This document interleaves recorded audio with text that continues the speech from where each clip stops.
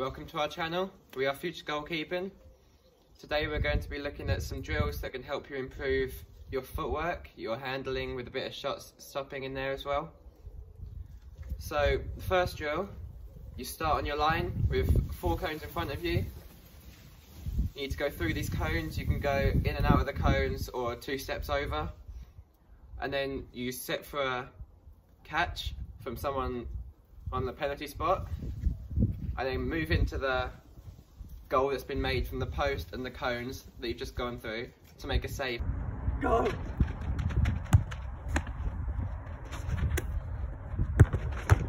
Oh!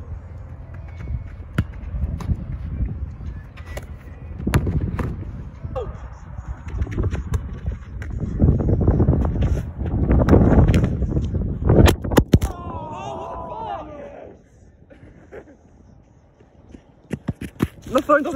Well, that was great. Our camera got blown over during the end of that last shot. It was Storm Dennis at the time we were filming that, that's why. So for this next drill, you start in the centre of your goal with about four cones to one side of you. You go sideways through these cones, two feet in each, and then come around the back of those cones to make a big high save. So this works on your footwork going through the cones, but also power to make that big save at the end.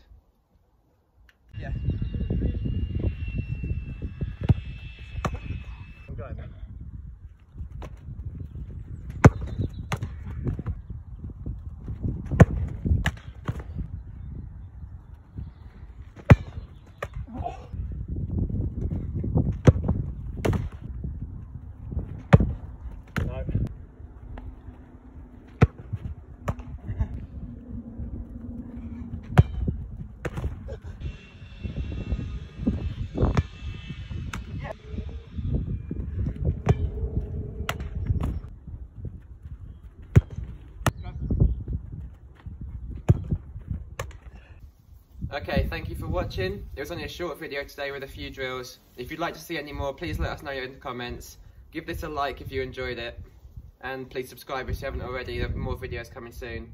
And glove reviews as well as more training sessions.